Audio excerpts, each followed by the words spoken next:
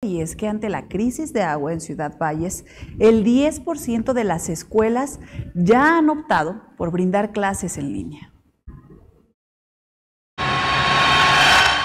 Estuvimos platicando con el director del Sistema Educativo Estatal Regular y precisamente nos decía que había dado la libertad a, los, a las diferentes escuelas de acuerdo a, con su capacidad de gestión, primero porque no todas las escuelas tienen la misma capacidad de, ahora sí, de almacenamiento de agua y, precisamente cada escuela le estaba informando de manera intermitente, aproximadamente cada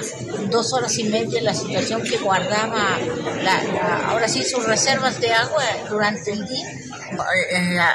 hablaron de porcentajes, hablaron de un 90% de, de planteles que están de manera presencial y solamente un, número mínimo del 10% que no estarán trabajando de manera presencial.